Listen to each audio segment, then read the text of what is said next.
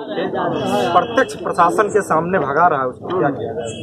भाई अब भगा दिया ना तब तो उसका नाम में- उसका नाम भी लिखो ना। तब तो हमने उसका भी उसका भी ना क्या ये? अब तो दो ने यार जो गलती लिख के तभी तो कार्रवाई होगी। लेकर उसका नाम मत आप उसका भी नाम लिखो। उसका भी लिखो। उसका लिखिए दो भगा दी जब बस दम खत्म हो गई। आप लिख के दो ना मैं दम नहीं खत्म। तो मैं दे रहा हूँ आपको आश्वासन आप आप पूछ रहे हो आप लिख के दो ना उसको।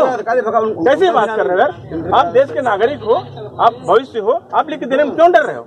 जो घटना हुई पूरा लिख दो मैं कठोर कार्रवाई का वादा करता हूँ। सही कर रहे हाँ। बात खत्म फिर सही करें सही पे आगे बढ़ो ना फिर। मैं जब कह रहा हूँ आपको आप लिख दो।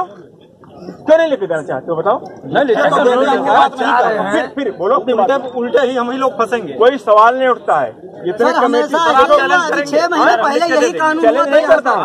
छह महीने पहले की घटना है यही हाँ, काम हुआ क्यों नहीं लोग यार। मैं वादा करता हूँ भाई। तुरंत लिख के दे रहे हैं। एकदम लिख के दो। जा चुकी हैं घाट पर पहुँच भी गई है अधिकतर।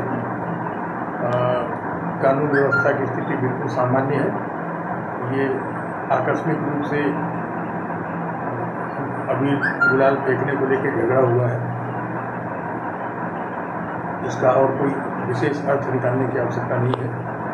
हम इसको पूरी गहराई से छानबीन करेंगे और कार्रवाई करेंगे।